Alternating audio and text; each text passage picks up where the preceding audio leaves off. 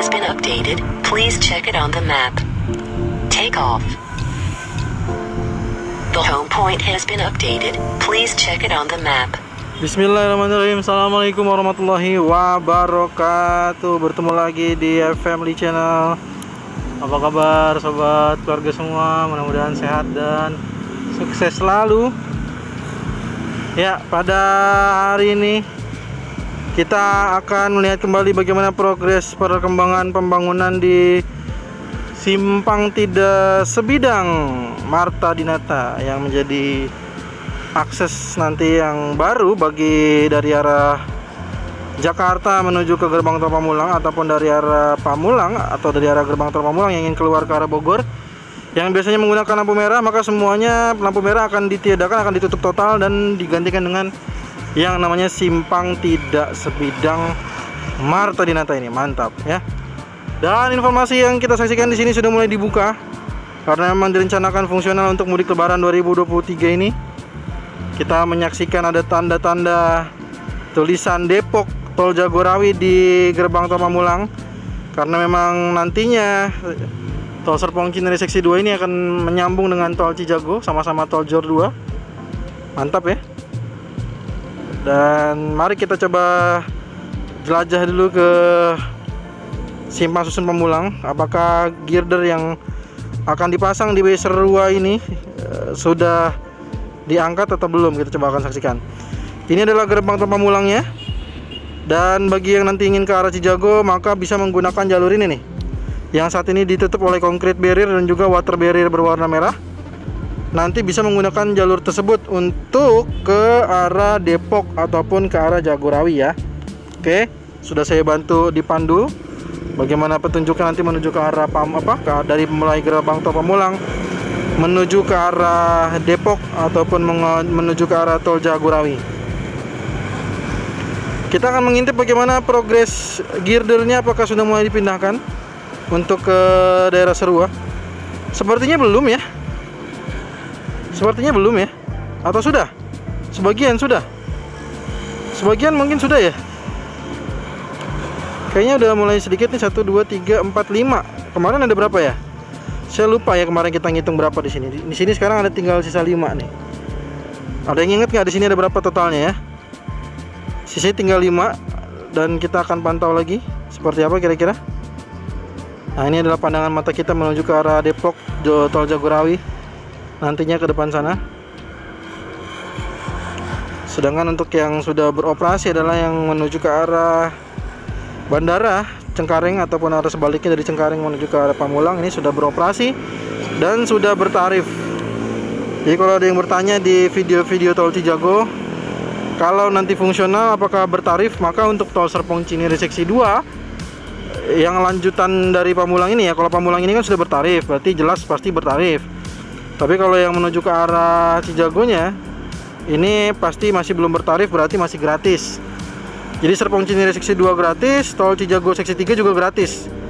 Cijago 3 itu dari mulai Kukusan, Krukut sampai ke arah perbatasan tol Serpong Cinere, maka nantinya akan gratis ya. Kalaupun jadi fungsionalnya pada mudik lebaran 2023 ini.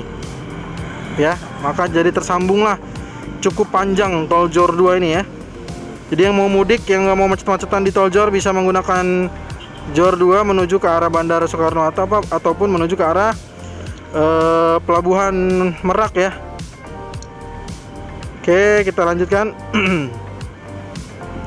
Jadi inilah gerbang Pamulang nantinya kita akan uh, melihat kembali Simang tidak sebidang Maharta Dinata. Dan ini saya tidak perlu buatkan lagi uh, simulasi ataupun animasinya.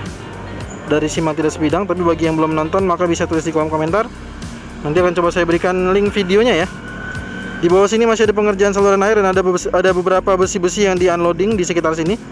Mohon maaf saya di pengambilan di jam istirahat ya jadi mungkin tidak terlalu banyak alat berat yang bekerja jadi saya mohon maaf. Uh, dan ini kita saksikan girder sudah selesai di stressing sepertinya. Sudah tidak ada lagi aktivitas stressing girder di sini sedangkan untuk di uh, abutmen 2 ya ini adalah abutmen 2 yang sudah jadi. Nah di sini sudah kita saksikan abutmen 2 sudah jaring-jaringnya semua sudah dicopot ya. Nanti kita akan coba lihat arah sebaliknya apakah bearing padnya juga sudah terpasang atau belum. Lalu untuk bangunan-bangunan ini masih juga dinantikan pembebasan lahannya. Sedangkan untuk untuk perkembangan dari pier 1 ya karena cuma ada satu pier di sini nantinya.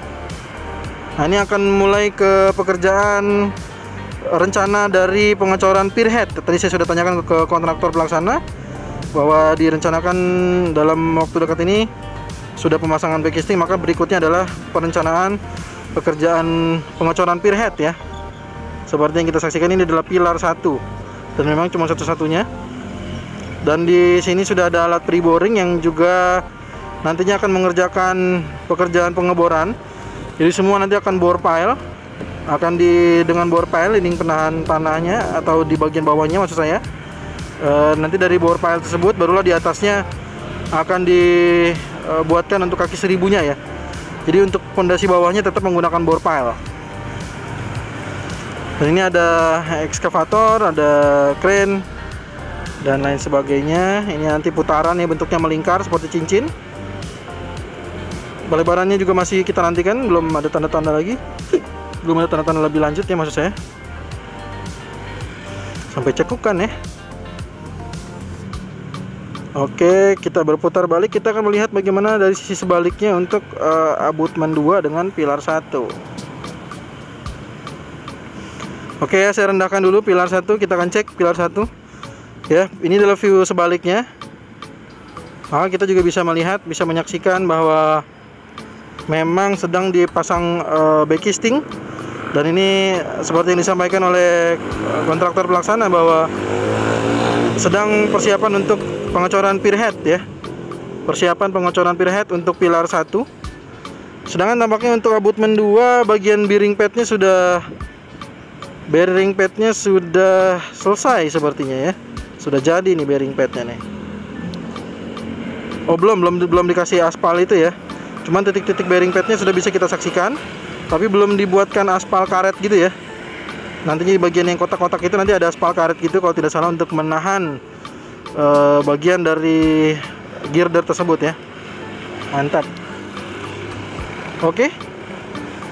Itu semua sudah saya sampaikan. Sedangkan di siang hari ini tampak tidak terlalu macet di siang hari ini baik itu aja mungkin yang informasi bisa saya sampaikan. Mohon maaf jika ada kekeliruan untuk progres simpang tidak sebidang Marta Dinata ini.